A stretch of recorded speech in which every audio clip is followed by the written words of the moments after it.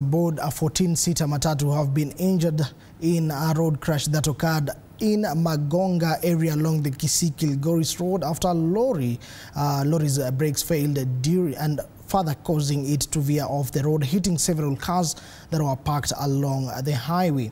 Two people were badly injured in the, in the crash, while six other casualties, including the driver, were taken to Nemel, uh, Hospital to receive treatment.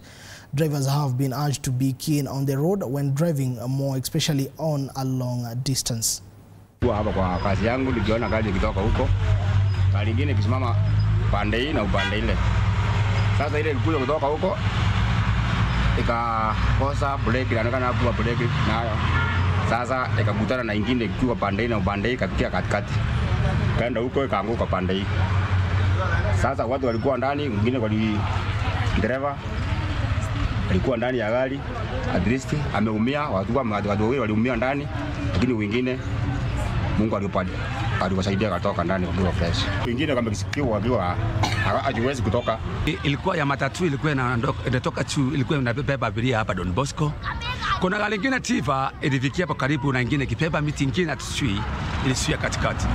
Ingawa gari lingine dereva alijaribu sana, maana yeye achari ingekuwa na achari mbaya sana, lakini dereva alicharipu kusaidia hawa wananchi. Sasa tunasisitika ni nini? Hii ni inaendelea, ni dereva mbaya ama nini vibaya? madereva mwe wa, wa, wa, wa, wa, wa, wakatilifu na wanafunzi mkitoka shule mwangalie juu na chini ili watangamaze maisha ya dunia. Mimi kile ambacho niliona dereva wa matatu hakukuwa na tatizo. Dereva wa matatu walikuwa wanasubiria abiria aweke ndani, na ile kama alikosa break na akaanza kuchukua kwarura kwa barabara, lakini yenyewe kwa kusema kweli, ile tipa ngiliokoa maisha ya watu.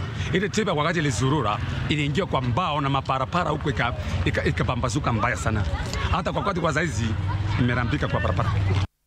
Business stakeholders across the continent are upbeat